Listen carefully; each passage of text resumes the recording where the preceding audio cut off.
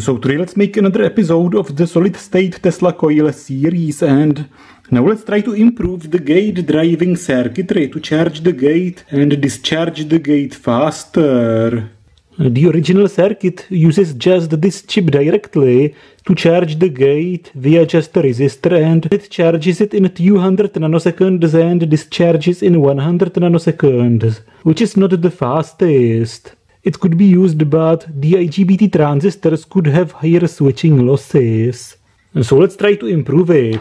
It's possible to add this current amplifier to it to amplify the current. And of course it's better to add a capacitor to it in parallel like this, very close to the transistors, so they can supply a high peak current. And of course the transistors should be fast, but they also should be able to switch enough current. But it's also possible to amplify just the discharging current and not the charging current, like here. Now the chip charges the gate via just this Schottky diode, but it discharges it via this amplifying transistor. And this is what I'm testing now. Originally it was discharging the gate in 100 nanoseconds and now it's 20 nanoseconds.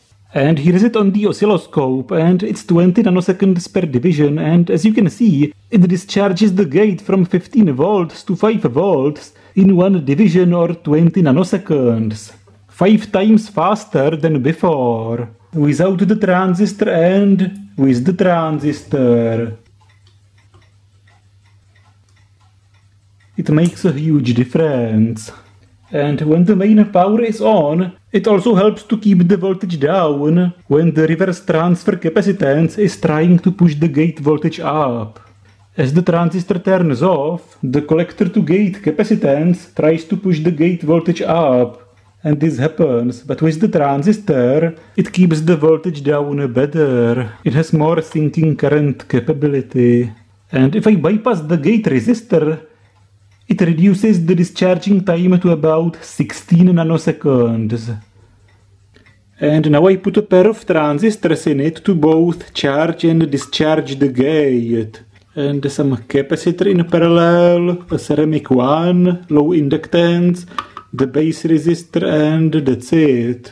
And the rising edge on the gate is much faster now. It was about 200 nanoseconds and now it's about 40 nanoseconds. So with the current amplifying transistors, both the rising edge and the falling edge are about 5 times steeper. It's charging and discharging the gate 5 times faster. And here's the schematic. And of course the upper gate driver will be the same, but the power will come from the floating power supply of course. So I've put pairs of gate current amplifying transistors in it for both gates. And here is a very crude, quick, lazy schematic of it. Of course, I will draw a better schematic later after testing it. So this is DiodeGoneWild and see you in my next videos and thanks to all of my patrons on Patreon. I really appreciate your support. And of course in the next episode I will finally try to plug it in mains.